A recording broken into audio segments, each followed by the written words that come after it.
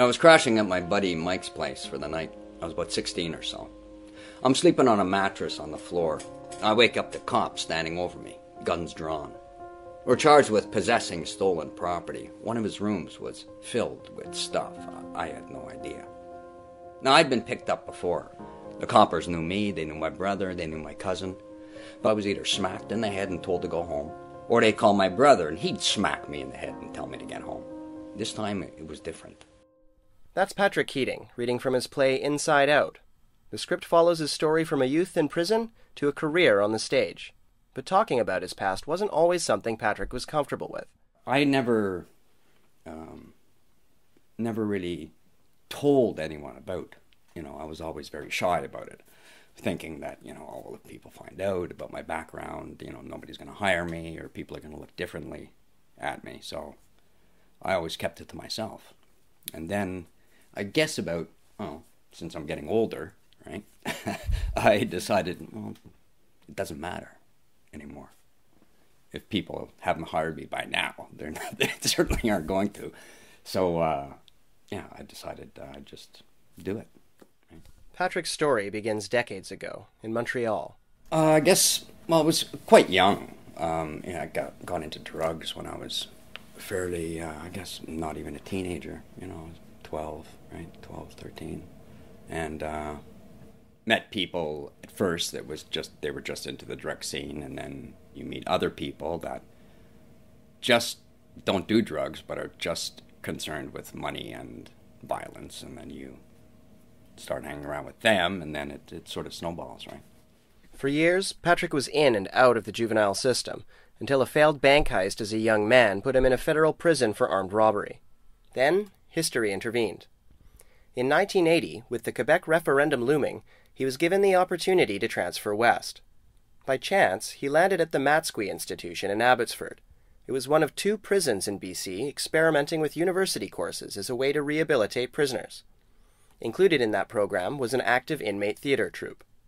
Though he was hesitant at first, Patrick signed up, a choice that would change the course of his life you know, I'd never really, I didn't know theater. I mean, I knew what theater was, but I didn't really know theater. I'd never been to a play or anything like that. You know, and and when you're inside, you're very, um, you're very guarded.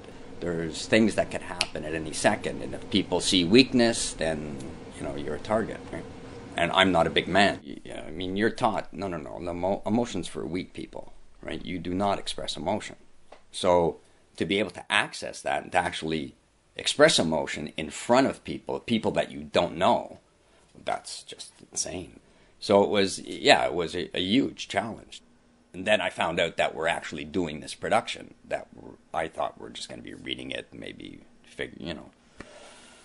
But yeah, it's a, it was like a major operation. People came in, and they, you know there was about 200 people that uh, they had to get security clearance in order to get into the institution, and and uh, I was cast in one of the roles, and um, and really, really enjoyed it. I was actually supposed to get out um, before the play finished, and um, I ended up putting off my release date to uh, to to finish the play.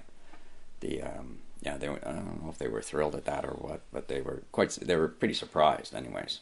And I said, yeah, no, I'm I'm not leaving then right? And they thought that was a joke. And and I said, no, seriously, I'm not leaving.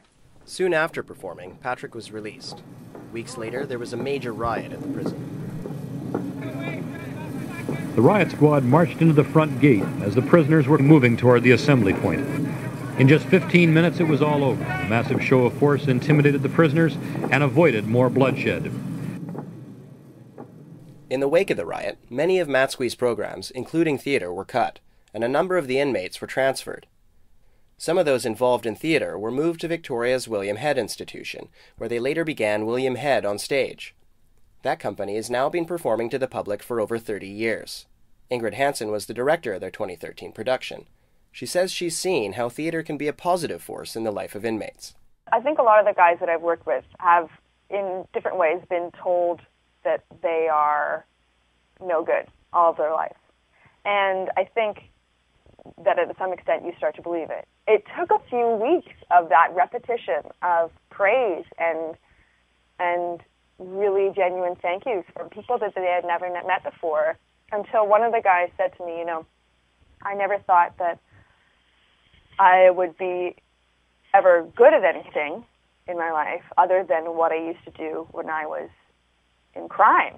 By the end of the project, we had feedback from um, like from the guys themselves saying like, "Wow, I haven't no, I can't believe I've I've changed so much," and and and also feedback from some different personnel working at the prison saying, "I can't believe how how much so and so has grown, how much so and so has changed." If it's done in a vacuum, you know, then yes, it'll help to a certain extent. But if you have people from the community coming in, you know, and realizing that people can change, that they're not, everybody isn't a monster, right? They may go back, I mean, if they had a drug problem, an alcohol problem, they may go back to that. But for the most part, for them to get out of a, a, a cycle of violence and realize that they are part of a world and they have a, a part to play in it. Dr. Stephen Duguid taught UVic classes at Matsqui in the 1970s and later coordinated Simon Fraser University's courses there. He led a 1998 independent study tracking the effects of arts and education in BC prisons and later wrote a book about it. He sees two sides to the issue. I think the theater, my view of it was they were getting a, a, sense of real life experience. The director was from outside. He came in and taught them about how to how to how to act. And I think I think we ended up teaching a kind of another cultural language that they could adopt. They didn't abandon the one they had, but they had another one now they could use, which was ones you, we, we would probably use and, and get by. But on the other hand, people were upset that their kid couldn't get into at, at UBC, whereas this guy in jail is getting a degree. For Patrick, theater did form a bridge to the outside world. After his release, he got in touch with an acting company that had visited the prison and volunteered labor for the chance to learn. But adjusting to life outside was tough, and a few years later he was back in Matsqui, again for bank robbery. After serving his sentence, he decided this time he wasn't going back. He enrolled in theater studies at SFU and made the decision to cut himself off from his old life. Well, I had to make like a concerted effort because I was um, I was known for a particular thing, and there were people that I had worked with before and knew and considered like family, right? And I had to say no, don't, you know, don't ever call me again. Over the next two decades, Patrick's face would become a regular sight on Vancouver stages. He would act in dozens of plays and local TV productions, including The Highlander, Supernatural, and The X Files. In that same time, he's been collecting stories from his life. When he recently shared some of his writing, he realized it connected with people and decided it was the right time to tell his story. It's quite interesting, you know, because a lot of people they come up to me on the side and they go, "Yeah, yeah, there's a my uncle was uh, did some time in jail," or they, you know, and they, they're sort of hushed about it, right? And it's so a lot of people do they keep it inside. Patrick has spent the last month workshopping his piece with the help of a Canada Council grant, and he's planning to present it to the public as a finished play this spring. He sees it as a story of hope, living proof that a lost youth doesn't have to mean a lost life. Part of the the thing that I'm trying to do with the piece is to show that there people are human, you know. It doesn't matter where they are or what they've been through, right? We're escorted through 150 yards of old dark passageway under the streets of Montreal and up into the juvenile court building. Mike wasn't laughing. He was scared. He was about to turn 18 in a couple of weeks. Was worried he'd be sent to adult prison. I was called in first. I didn't know who was who, but told the room, everything's mine, Mike's got nothing to do with nothing. I was 16. I didn't have to worry about adult prison. Mike went home. I was sent to Berthelet a more modern juvenile prison with bright lights, razor wire, and steel bar cells with doors that slam shut. Half a country and century away, the only bright lights are those on the stage. The doors that slammed behind him as a youth, ironically, opened new ones for him as an adult, and unlocked a passion that changed the course of his life.